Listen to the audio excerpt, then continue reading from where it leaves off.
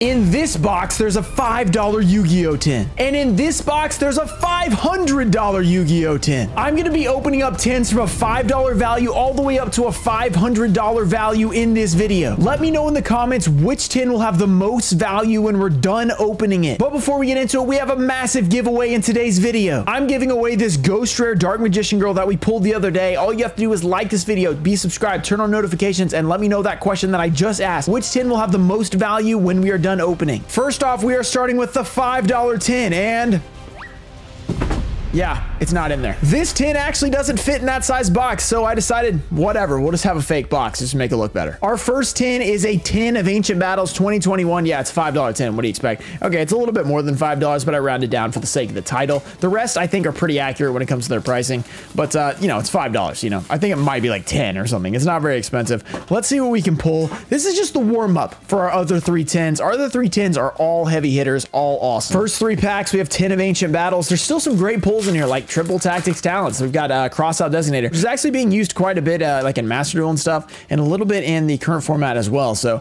pretty solid. Actually, I think quite a bit in the in the current format. We got the Feed Ran, we got the uh, Titan. Remember, there's two ultras in these packs and one prismatic secret. Uriah, Lord of Searing Flames. Not a bad start. We love this card. A Nadir Servant. Okay, that's a great card. I don't think the value is that crazy anymore, but it's still pretty good. And Nerval, because I think at this point, Nadir Servant, not as good of a deck, but still uh, pretty solid. We're taking that pull. I mean, Uriah, we love to see those uh, Sacred Beasts as well. If you guys enjoy this kind of video, I mean, this is an expensive video for me because, you know, do not usually make the value back, but I think it'll be a lot of fun to open up all these old school tins. I can't wait for you guys to see what's in the rest of them. There's some really awesome stuff, but I'm not going to spoil it yet. We got the Red Rain, Buzzsaw Shark, Gravity Controller. I want you guys to let me know that and answer that giveaway question before you watch them. I want to see it. I want to see if you guys can nail it. Thunderhand. We got the Drytran Zeta, Drytran, Drytron Zeta Albiha. Okay, I don't know about that one. And Dogmatika Maximus. A lot of Dogmatika stuff. You love to see it. And Eria of the Water Charmer. That is not the Starlight Rare, unfortunately. Can't get that in here. There's no Starlights in the tins. I wish they would put Starlights in the tins. That'd be awesome. But to be fair, the Prismatic Secret Rare looked beautiful in these. And there's also going to be a really amazing reprints in the 2022 tins with really, hopefully Ash has the Prismatic Rarity. That'd be really awesome. Curse of Dragon, the Cursed Dragon. Not redundant at all. Jabbing Panda. He's a, wait a second. Why does he have gloves and why is he in the water? I get why he's, he's a Jabbing Panda. I get the gloves, but why does he have the gloves on in the water? And why is he in the water? I don't get it. And for Noble, that's just weird. Battle Survivor. We got the Super Heavy Samurai. Trap Tricks. Adamancipator Signs. Okay, not a bad card. And, oh, Alpha the Master of Beast. Very cool. This does have a Starlight print as well. And then uh, Trias Hierarchia. All right, cool. So far, a couple of decent cards, but there's only a couple of like really high value cards in here. Nadir Servant's honestly one of the best. Not a bad start for our tins. Let's go on to the $100 tin. Next up, we have the $100 tin. Yes, the tin's actually in here. It's in the rest of the boxes. So we actually got to open this box. We have a Black Winged Dragon tin. Yeah, this is pretty cool. This tin is actually a giveaway won by a viewer and he asked me to open it up on a video. I was like, you know what better video to open it up than in the, you know, 10, 5 to $500 tin opening. This should be pretty cool. So let's open it up. Let's see what he can get. This is all a viewer's pull. So maybe we'll give him some great luck to pull like a ghost rare or something in this. I don't even remember what is in this tin. It's 2010. I, I say 10 and 10 the exact same way. So I'm sorry. The Blackwing Dragon includes one Stardust Overdrive booster pack, two Absolute Power Force, all have ghost rares, and the Shining Darkness. Very nice. And then the Secret Rare Blackwing Dragon, of course. So let's see what we can pull in.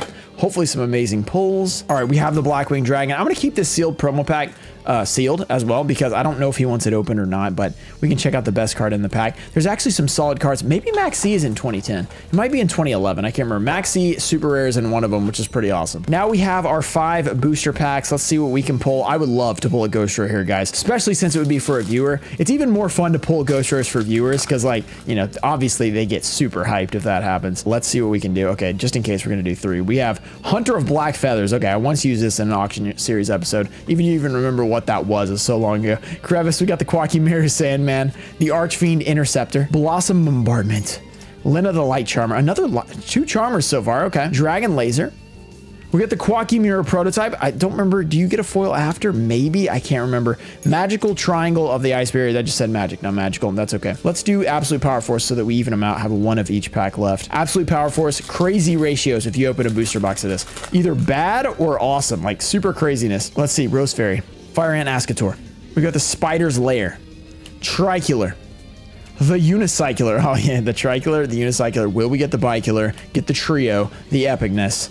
Call of the Reaper. Okay. Magical Golem. Djinn Prognosticator of Rituals. And Changing Destiny. So we still don't know. This reminds me of um, Full Metal Alchemist Brotherhood. I don't know about you guys, but that's what it does. That's what it reminds me of. All right, next pack we have Stardust Overdrive. Guys, we've opened a few of these first edition recently. I mean, we didn't get the Ghost Rare, but those new mystery boxes are pretty awesome that have them. Let's go. One, two, three, four. Let's no, let's do three. We're gonna stick with three, just in case it's uh, after the rare. We got a Herculean Power. Spidey Spidey. He'd love to see that card. Wolf in Sheep's Clothing. Reptilian Gorgon. Let's get a Ghost Rare. Iron Core Armor. Koa'ki Meiru Sea Panther. Speaking of Ghost Rare, you guys can win that Dark Magician Girl Ghost Rare. Make sure you enter that giveaway. Pretty awesome. Uh, Gemini counter. I feel like maybe, do we have something after this? Fortune Lady Earth. Is there going to be anything? No. Savage Coliseum. All right. Very savage. Very Coliseum. I don't know what that means. Two packs ago, I really want the Blackwing Dragon Ghost Rare. I think that'd be cool. But we would take the Majestic Red Dragon as well. Also an amazing card. I've pulled neither of those ever. So this would be pretty nice if we could do it. Shredder from Ninja Turtles. We've got the Destruct Potion. The Oil Man. Gundari of the Temple of the Sun, Reptilian Servant, Meteor Flame, or Flare, I should say, Reptilian Vasky, and will it be after this? Reptilian range, no foils so far in this 10. It's been pretty rough. Let's see if we can get some in the final pack. These 10s can be brutal, or they can be awesome. It just depends on how, you know, lucky you are, because Yu-Gi-Oh! pull rates, you guys know, well, you guys see this? Uh, they're pretty wild sometimes, so I don't even know how do to even open. Oh, just pull it open. That's how. All right, one, two, three. Let's get that Ghost Rare. Even the Ultimate Rare Ultra Rare, the Blackwing would be pretty cool. We got the Watt Cube. We got the Morphtronic Scramble like them eggs. We got the Trigon, Dragon Laser, Archfiend Interceptor, Card Breaker. We got the Blossom Bombardment, Infernity Inferno, and oh, a Bio Falcon. Oh, an 0 for 510. That's a rough start to our actual good 10s. $5 10 doesn't count. Not a great start, but we do have a $300 tin incoming. Yes, what could be inside the $300 tin? Let me know in the comments. You're about to see in approximately five seconds after I cut this video right here. Inside this box, we have a Cyber Dragon tin. Yes, this is the tin I've had back there for quite a while, but we're opening it up today. Cyber Dragon. Hopefully this is a PSA 10 promo now that they got that $18 bulk, bulk rate. Bulk rate, that's not the right way. Inside, we're going to get what? This is the first launch of 2006 tin, so we get the two Cybernetic Revolution, one Elemental Energy, one Shadow of Infinity, and one Enemy of Justice. Let's see if we can pull a Cyber Dragon or a Cyber End Dragon, Super or Ultra. That'd be pretty cool. But wait, 50% of you guys are not subscribed to the channel according to this graph, so go down below and click that subscribe button. First stop, we check out the promo. Will it be beautiful? Will it be awesome? It already looks beautiful, so we know that. We don't have to worry about that portion of it. Will it be in great condition, though? Front looks pretty good. Centering, oh, it's off, unfortunately.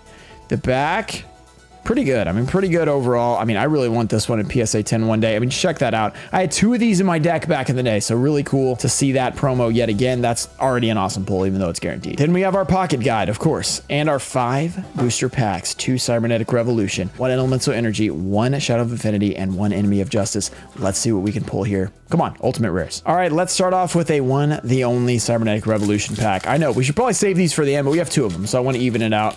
Just my uh, very not severe OCD. Because I don't want to act like I have crazy OCD, but sometimes I want to keep it even, if you know what I mean. All right, Battery Man C, Jetroid, with the Tadpole, Steamroid, always kind of a decent card actually, because it gains like what, like 500 attack? Yeah, it's 2300 when it attacks. Uh, Death Frog, interesting card. The Spiritual Fire Art Kurenai, not bad either. Arrival appears. Ooh, and a Goblin Elite Attack Force. That's a super rare right off the bat with a Spiritual Water Art or Earth Art. What does this say? Kurogane. All right. And then we have the Goblin Elite Attack Force. Actually, a pretty interesting card. It's just worse than Goblin Attack Force. Worse attack, but better defense. I mean, they have armor on. You see this? But if you guys remember the Armored Zombie, armor doesn't do that much on Yu-Gi-Oh cards. All right. Glad that we actually got a pull. Let's go into Enemy of Justice. What shall we pull here? Will it be epic? Will it be awesome? I have a good feeling that we're going to pull something crazy. I don't know what it'll be. Will it be the Shining Phoenix Enforcer? I believe that we can do that. We have pulled uh, Mini and Ultra Rare, Never an ultimate rare of that card. I don't even think we can pull the ultimate out of this, but we'll see. Raging Area. Whirlwind Weasel. Celestial Transformation. We got the Avalanching Aussa. We have the Elemental Recharge. Layard the Liberator. This is a 2006 10, by the way. Super old. Uh, Destiny Hero Captain Tenacious. Ooh, and a Banisher of the Radiance. I forgot this was in here. Pretty good card. And Cyber Tutu. This does have an ultimate rare print as well, which is a really nice version for that card. All right, all right. One for two. Let's go to Shadow Infinity. Yeah, you guys remember that? Uh, wait, this is first edition. I forgot about that. First edition Shadow of Infinity. Oh, that's pretty nice. Uh, I've never pulled the Sacred Beast, even in Ultra. Yeah, and three out of the four ultras are Sacred Beasts. It's such a meme at this point. I pulled Cyber Laser, I think, four times. It is the one of the four ultras that is not a Sacred Beast, and I pull it every time. All right, Symbol of Heritage. Let's pull one now. I don't care which one it is. It could be ultra rare. I don't care. Full salvo. It can be any of the three. Trial of the Princess. We got the success probability zero. Just look at that hair, man. He has no hair on the top of his head, but he has like a mullet on the back of his head. It's pretty wild. Chain Thrasher, okay. Ancient Gear, not the Golem, just Ancient Gear. It's just a gear. Ancient Gear Drill, that's a drill at least. And Death Frog and Goblin out of the frying pan. I would have taken this as an ult. Even has Pot of Greed in the artwork. That's pretty cool. He's trying to like sell him or something like that. Poor guy. Poor guy. Two packs left in our $300 tin, and then we go on to the final $500 tin. If you guys enjoyed this video, make sure to let me know in the comments. And don't forget to enter the giveaway because that's a Ghost Rare Dark Magician Girl. I know you guys are going to want that. So make sure to enter it. Uh, I did announce the winners recently on the YouTube community tab. So make sure to let me know. I have not shipped all of them. Maybe like half of the people that have messaged me have shipped. All right, Featherwind. Here we go. Enemy of Justice. A lot of good cards in here. The League of Uniform Nomenclature. V Tiger Jets. This is a vanilla 1600. Familiar Possess Hiita. That's got a uh, Charmer Starlight now. Infernal Incinerator. Oja Magic. Dark Deal and W Wing. Okay, don't worry. It's the next one. Ultimate rare hero barrier. That's a beautiful card. We will take that. Ultimate rare hero barrier. It's not like the craziest card ever, but it's a hero card. I mean, ultimate rare hero card. You love to see that. Check out that texture on that card. Pretty nice. It's just the NA print, so it's not like crazy texture, but it still looks pretty nice. We're taking that. A super and an ultimate. Awesome. All right, this tin's been pretty awesome so far. Let's go back to Cybernetic Revolution, which did pull us a super rare at the beginning. Can it pull us? We could get a Bubble Man out of here. Ultimate rare, because it's a retail pack. That would be pretty amazing. Even unlimited. I would love to pull a Bubble Man. That would be pretty awesome. I think that's the dream pull out of a retail Cybernetic Revolution. Uh, obviously, of course, Cyber End Unlimited is still cool, even Ultra. And then the Cyber Dragon Super is awesome as well. Let's go. Cyber Archfiend. Let's see what we can get. Patroid. It's a Royd card. We got to prepare to strike back. There's the Goblin Attack Force. Added again. Is that the original? is that the uh, Elite? They don't have armor on, so I'm guessing the original. Tyranno Infinity, classic Dragon, not Dragon, Dino, uh, Giant Kazaki. We got the Gyroid, another classic. It takes two attacks to destroy that guy. Uh, Mechanical Hound, and finally, another ultimate rare, a Spark Blaster. So we're getting all kinds of awesome hero cards. So this card is like really awful because you have to equip it to Spark Man specifically. And it's like not even good when you do that, but it's still pretty sick. I mean, it looks really nice. So we got a Spark Blaster and a Hero Barrier. Two ultimates out of 110. All right, let's go. All right, the value is not going to be like amazing. You're not going to be like, whoa, $500. It's probably like five bucks, but still pretty awesome. All right, heck of a $300 tin. It's time to end it with our 500 $100 tin. What could it be? What do you guys think? Let me know in the comments. I mean, at this point, you're like, okay, it's got to be something older, right? You know, I mean, it's $500 for this tin. Yeah, it, it's expensive. It was a lot. Now, let's hope that we can actually pull some decent cards out of here, like that Cyber Dragon tin. That was pretty nice. Let's see what we can get. What will it be? We have a Bum bum! Buster Blader tin. Check this out. Buster Blader from 2003. And you guys know how these promos are. If we can get a nice promo, it'd be pretty amazing. We have not opened one of these old school tins in a while. We used to open these up all the time. I opened all of them at one point. Go check that video out or those videos. There's a playlist for opening every, if you guys want to see opening every 2002, 10, 310, 410, all the way to 2007, opening every pack, all that stuff. But we are going to open this up today. And yes, I'm opening this up for myself. Inside, we have the one of the first five sets, five different packs. Basically $100 a pack when you open this thing, so pretty expensive. Let's see. Okay, the promo, you notice, might not be at the top. You're like, why is it not at the top? That's because they just threw it in the bottom of the pack, or the, the tin, and there it is. And look at that scuffing on the back. That's because there's no protection, unfortunately. Hate to see that. All right, let's check it out. Let's see how beautiful it is at least. Okay, so the back, it's in not great shape. And then the front, oh my goodness, that is a pretty card. Buster Blader, Secret Rare. Very beautiful, very awesome. Glad to have gotten this one. Now let's get into the packs. The way to end this video. Hope you guys have enjoyed it. Five old school the original 2002 2003 this is the only 2003 pack we have here. We're going to start with this one. Let's see what we can pull and these do indeed have fat packs if you guys remember. The age old fat packs. Let's see what we can pull. Will it be what do we want out of lon i don't think you can get gemini in here. I think it would be magic cylinder. I'd be down for that. Swordsman of landstar you love to see that joey wheeler.